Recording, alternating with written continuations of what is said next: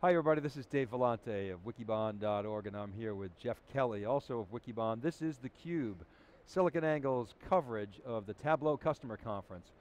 We're here in DC, we're at the Gaylord Hotel, just an awesome setting as you can uh, see behind us.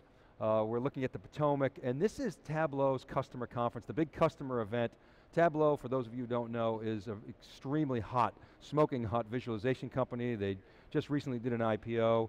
Uh, they've got a $4 billion market cap. We're talking about a $200 million company growing north of 70% annually. Uh, this company, Jeff, has really been on our radar since uh, several years ago when our friend Abhi Mehta introduced us to them uh, at the Hadoop World Conference. And it's all about capturing the power of big data and data through visualization. So it's not exclusively confined to Hadoop, but essentially there are organizations out there, they're using spreadsheets or they're using traditional BI tools, and either they're drowning in data uh, and, and, and Excel is just too cumbersome to use, or they've got to go to the IT department through the traditional BI channels and, and basically ask, beg, borrow, and steal the ability to get access to data and to reports. What Tableau does is they simplify that. They really, their mission was to put the, the data uh, in, the, in the hands of the users through visualization. Visualization, as we've talked about at SiliconANGLE Wikibon, is a critical component of big data. And Jeff, we're here wall to wall to cover this. It's good to be working with you again. It's good to be working with you too, Dave. Yeah, so um, give me your take on, uh, on visualization and its importance to the whole data and big data industry. Sure, well, you know, for years, um, really data was not uh, readily uh, available in terms of easily uh, analyzing it to business users. Uh, you know, you had to typically go through, if you're a business user, you wanted to analyze some data, you wanted to visualize it, you went to your IT department, you asked, uh, begged as you said sometimes to, uh, for them to build you a, a, dashboard, some kind of type of application to allow you to analyze that data. If you got a little frustrated with that, you might load data into your Excel spreadsheet and try to work with it that way. But uh, really, uh, it's been a difficult challenge for, for business users uh, to make the most of their data, and that's what Tableau is all about, uh, to try to make it easier for business users, not data scientists necessarily, although data scientists also love some of the capabilities of Tableau's suite of software uh, but for business users really to very easily pull together their own visualizations to help them do their jobs on a day, day in, day out basis. Um, and ultimately, you know, we talk about, in, in, the big data space, we talk a lot about some of the underlying infrastructure and uh, the database world, uh, things like Hadoop and NoSQL databases being able to scale uh, to really, now we can store and process so much more data uh, in, in any number of structures. But ultimately, to get the value from that data, you've got to unlock it and make it available to business people who are actually making the decisions on the ground every day. So that's really where Tableau comes in. Uh, making it possible for business users to really get a better understanding of their data, find insights uh, that they otherwise couldn't find, uh, and just really unlocking the power of data. So, so today, Jeff, is really customer day. Uh, we have got some guests from Tableau on, but major, major customer day. We've got GE coming on, they're coming on at the top of the hour, 10 o'clock Eastern time. LinkedIn will be on, uh, Paychex, Barclays Bank, Apple Computers coming on. Excited to hear from those guys. Manpower. Manpower is a story that Tableau uh, loves to share uh, because of the impact that it had on the time it took to actually get to data and the resources that it took to get to data. Cisco's coming on, Ray Wang is here, uh, he's at the conference, we just saw him on Twitter, he's going to come on and give his perspectives, so really looking forward to that. And then tomorrow, Jeff, we've got more customers, but also more content from the Tableau executives, right?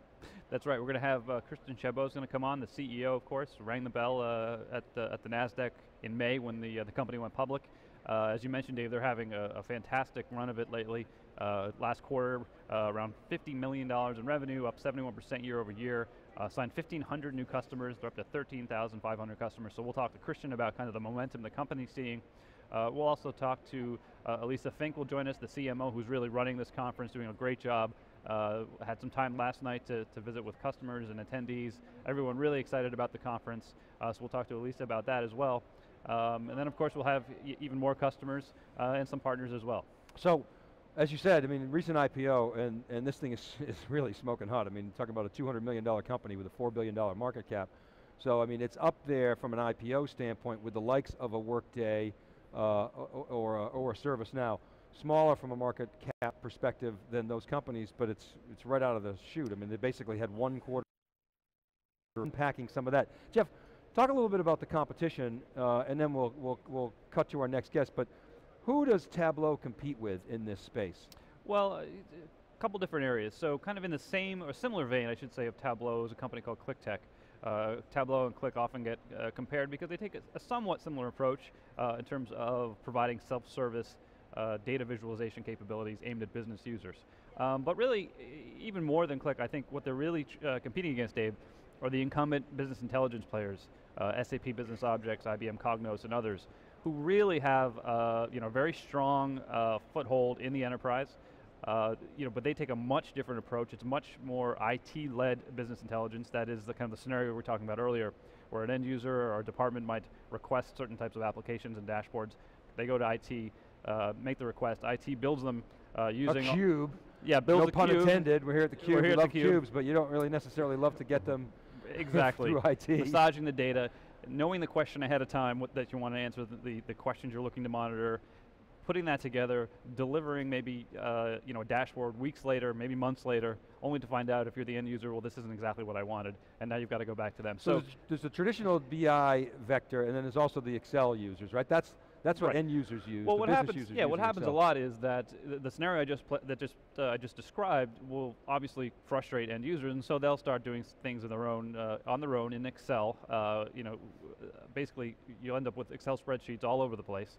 Um, and you know, Excel for all its uh, you know it is a powerful tool, and Microsoft is investing more money in things like Power Pivot to make it easier and, and uh, uh, be, being able to scale and actually visualize the data a little bit differently. It's still uh, not the easiest tool to use, and that's where you know Tableau really tries to fill that void, making it easy, even if you're using Excel, to put Tableau on top of that and, and really create some dynamic So you touched on it, but, but I want to I want to follow up and, and get a little more color on this. So what, in your view, makes Tableau unique and different? Right, well I think a couple of things. The ease, I constantly hear uh, from customers is the ease of use. Um, you know, I had one customer say to me last night, look, it's business intelligence, it's data, so it's not necessarily easy, but Tableau is certainly the leader in terms of ease of use. If you're an end user, uh, if you want to build your own visualizations. Uh, basically, they take a very simple drag and drop GUI interface approach. You can drag uh, data sources together, you can visualize them in any number of ways, you can ask a question, get a visualization, maybe it's not what you expected, quickly change that visualization to something else. So you can explore the data much more uh, interactively than you can in a lot of uh, other, uh, using other tools like the traditional business intelligence uh, applications. All right, so we're here all day, today and tomorrow, wall-to-wall -wall coverage. This is theCUBE. Uh, we, we hope to have Nate Silver on tomorrow. You know, theCUBE, our tagline since 2010 is we extract the signal from the noise, so we're going to ask Nate if, if he stole that line from us for his book, but who knows. So today, big customer day. Uh, Philip Kim is coming up next from GE. We're going to talk to him about what GE is doing with data, what he's doing with data, what the Tableau factor is there, so keep it right here. This is theCUBE. We'll be right back. Oh, I should mention, uh, definitely tweet us. I'm at D Vellante. He's at Jeffrey F. Kelly. Uh, uh, pound theCUBE and pound TCC13 is the hashtag for this conference. Right, and don't forget we'll be streaming uh, the CEO, Christian Chabot's keynote, 115 uh, this afternoon. So tune into SiliconANGLE. Yeah, Christian Chabot is a founder and, uh, and visionary, so keep it right there, we're right back after this brief word.